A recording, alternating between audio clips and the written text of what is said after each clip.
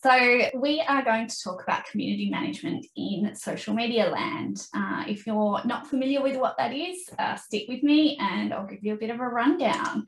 So, community management is basically thinking about online, being online. Um, an online community manager builds, grows, and manages online communities. So if you think about Facebook groups, um, LinkedIn groups, they're people that are in there responding to social media comments um, on your page or profile um, and responding to those group uh, requests. So social media manager or community manager. So they are not necessarily the same thing. Not all social media managers offer community management and not all community managers offer social media.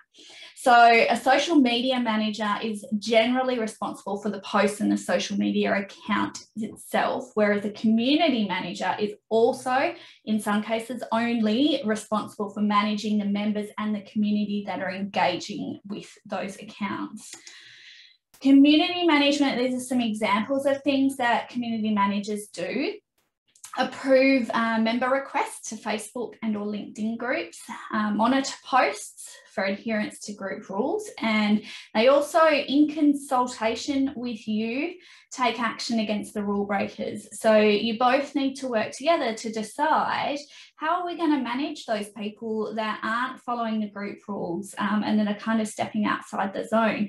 And they're generally the people that will take that action. They may respond to direct messages to the accounts. Um, some clients don't like to have someone else responding, some do. So, you know, that's a conversation for you to have together and work out whether that's something that you want done or whether your uh, social media manager is comfortable with doing that.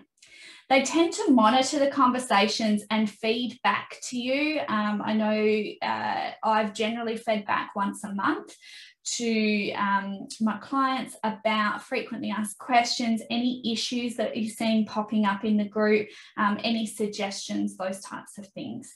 Um, and they also tend to engage in the comments on your behalf because, as we know, higher engagement means um, that our posts get seen more and the reach increases. So that's something that uh, community managers can offer.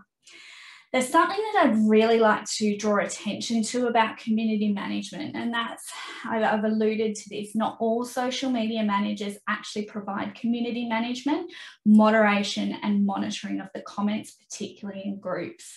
Um, it can be quite time consuming, and for some social media managers, it's just not something that they want to do in their business. Uh, so that's a conversation that you absolutely need to have together.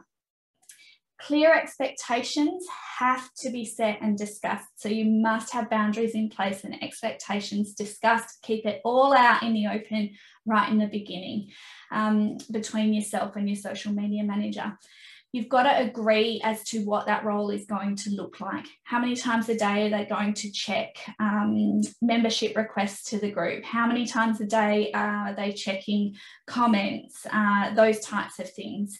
Um, if there's an expectation that they are, you know, checking every time um, something you know a membership request or a post goes up then you really need to be paying for that availability Generally, social media managers will charge additional fees for community management. It's generally not included um, in just the posting and your posting schedule. So they're things to keep in mind.